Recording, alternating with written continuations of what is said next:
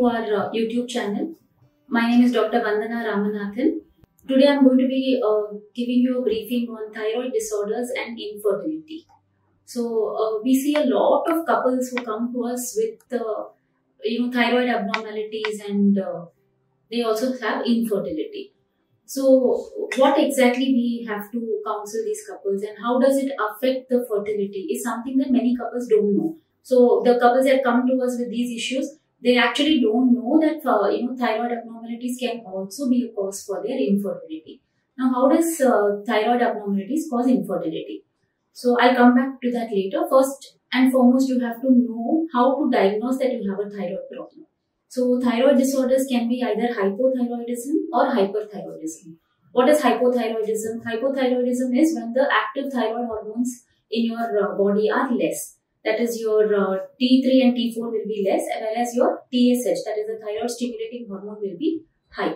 This is called hypothyroidism.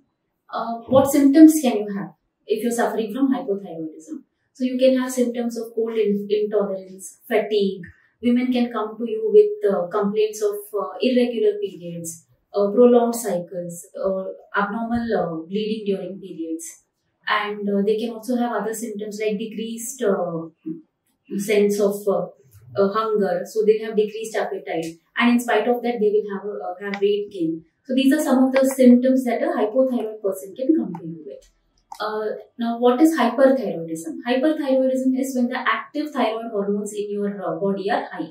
That is, your T3 and T4 will be high and your TSH will be low. This is what hyperthyroidism is. Now, again, what uh, uh are the symptoms of hyperthyroidism? So, hyperthyroidism patients can come with uh, uh, complaints of excessive sweating, excessive hunger, palpitations, anxiety, and they can also come to you with menstrual abnormalities. So these are a few symptoms to cover. There are several more symptoms that the patient can come with, but this is just in brief more the, the frequent symptoms that patients usually come with. Uh, so if any patient has uh, infertility, we uh, do it, uh, do the TSH and uh, uh, free T4 levels on a routine basis. Why? Because many a times patient can actually not have any symptoms and still have thyroid abnormalities like patient will not be able to recognize that they have symptoms but uh, they will be suffering from some kind of thyroid disorders so we will perform the tsh uh, and free t4 levels in all patients and if we find any thyroid disorder we have to correct it how does this thyroid abnormality lead to infertility now uh, in women uh, what can happen is if a lady is trying to conceive naturally or with simple treatment now thyroid abnormalities can hamper ovulation so it will not allow ovulation, that is release of the egg from the follicle. So when ovulation doesn't happen, obviously pregnancy cannot happen. Uh, second thing is it can lead to increased chances of miscarriages. So this is another problem that the lady can have. So even though she conceives, she can have higher chance of miscarriages. Supposing this lady uh, is actually going for IVF treatment now, in such patients, what will happen is one is in them, of course, we are not concerned with ovulation, but what happens during the course of the IVF treatment is they will have decreased fertilization rates and again decreased implantation rates where uh, even though the embryo is formed, they will not have a good implantation so that that embryo will not get attached to the lining of the uterus properly.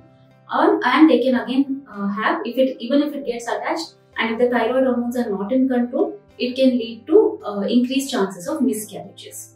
So, uh, which is why correcting the thyroid disorder is very important in females.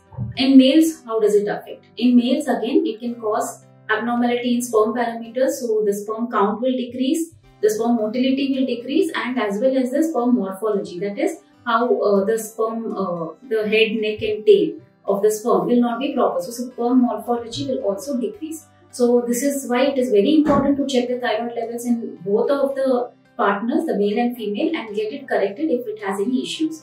Now, for example, I can give you an example of a patient who has come to us with, you know, a young couple. They have come to us with a short uh, married life of maybe two years, and uh, both the uh, male and uh, female, both of them are quite young, less than uh, 30 years, like around 27, 28 years uh, they have come, they've been trying for a pregnancy since two years and they're not, not able to conceive.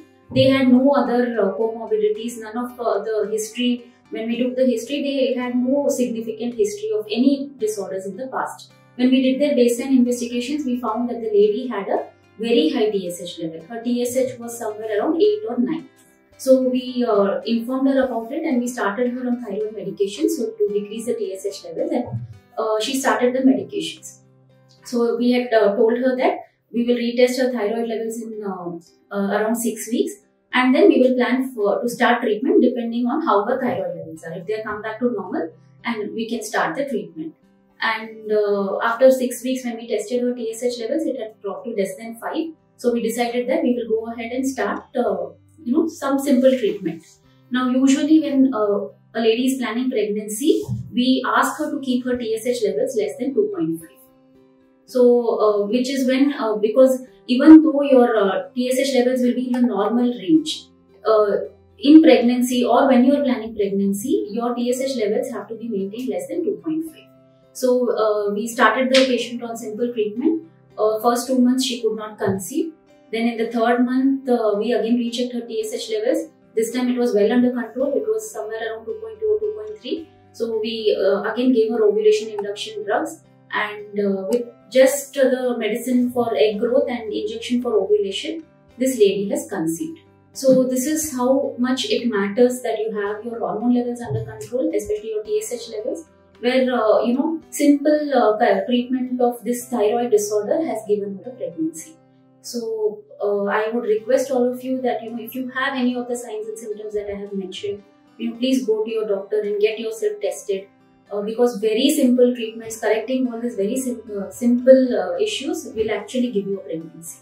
So I hope this video has been uh, informative for you. If you liked uh, this video, please do share it with your friends and family and do subscribe to our channel. And uh, you can also, if you have any more queries about uh, this uh, topic, you can always visit our website or call us on the number that's given in the description box and get in touch with us. Thank you very much.